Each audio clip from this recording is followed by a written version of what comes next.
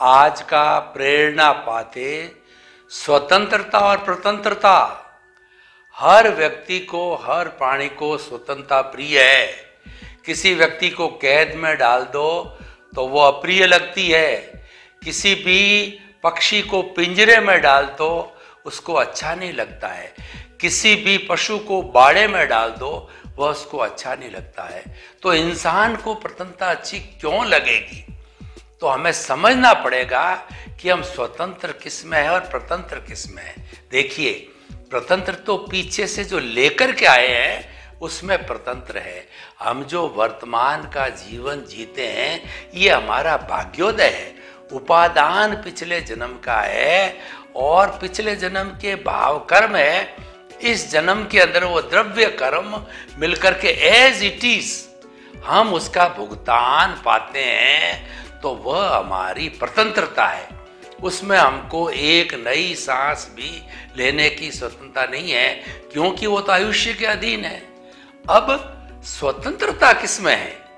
जिसमें स्वतंत्रता है, उसमें समय लगाना चाहिए, क्योंकि स्वतंत्रता से ही प्रगति होगी। प्रतंत्रता तो एक बंधन है, प्रतंत्रता एक मजबूरी हो।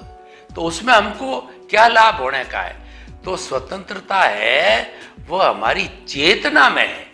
क्योंकि चेतना पर स्वतंत्रता के जो गुण हैं, वो गुण लागू नहीं होते। यानी वो नियम लागू नहीं होते हैं। तो स्वतंत्रता चेतना से होने के कारण, चेतना के साथ तन्मयाकार होना चेतना की बात करना, चेतना के गुणों की भजना करना और चेतना से संपर्क रखना स्वतंत्रता है। वह स्वतंत्रता का एक सिस्टम है। उसका नाम है दृष्टि विज्ञान। आप दृष्टि विज्ञान को पहचान लीजिए, वो रियल पुरुषार्थ है, उसमें कोई पुण्य का बंध नहीं, यानी सीधा आपका तार चेतना से जुड़ता है, और चेतना तो प्योर जो है मुक्ति वाली चेतना है तो सीधा उससे जुड़ता है, आपको पुण्य के भोग के लिए और गतियाँ नहीं करनी पड़ेगी। तो अर्थ यह है, आप 24 फोर आवर्स प्रतीति रखो कि मैं शुद्ध आत्मा हूँ।